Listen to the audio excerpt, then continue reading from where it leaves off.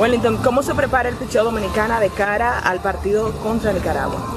Eh, normal, de verdad que sí, ya como todo el mundo sabe, Cristian Javier será nuestro abridor y todos los relevistas estarán disponibles. Eh, ayer vimos un par de ellos que lanzaron, en verdad se vieron mucho mejor que, que los juegos exhibiciones, pero lamentablemente permitimos una carrera aquí y allí, pero, pero verdad que se ven bien. Hoy tuvimos una práctica, eh, hicieron su lanzamiento perfecto, están ahora mismo en el gimnasio y estarán disponibles todo para mañana. ¿Cuáles fallas identificaron anoche en el partido contra Venezuela que hicieron los que están haciendo los ajustes para poder mañana salir con la victoria? Eh, como te digo, cada día que pasan eh, nos vamos poniendo más, más, ready, más listos. Sabe que todavía están en un mood, como uno dice, de entrenamiento. Y cada día que pasa los muchachos están poniendo mejor. Eh, algunos están trabajando en, su cosita que hicieron un poquito mal ayer, que era más mecánica que otra cosa.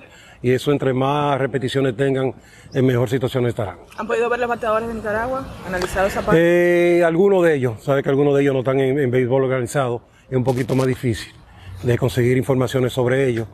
Eh, pero sí, lo que están... Eh, lo hemos estudiado y hay algunos de ellos que yo lo conozco, cantado en diferentes organizaciones en los tiempos anteriores. ¿Cómo, Wellington, cómo, cómo hacer ese balance o ese ajuste de que precisamente tú estás en una temporada de entrenamiento, preparándote para el mes que viene, pero hay competencia real? ¿Cómo trabajar eso? Porque, porque no, no, es tan sencillo como se pueda pensar.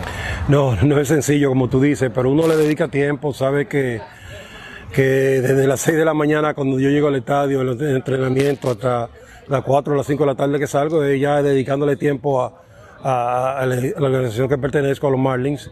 Eh, y después de eso siempre estoy en contacto con, con Nelson, con el dirigente Ronnie, para así eh, tratar de, estar en la misma página para cuando empiece el torneo. Y ya desde ahora, de hace ya una semana, ya sí estamos entregados al tiempo completo a lo que es la causa del equipo del Clásico.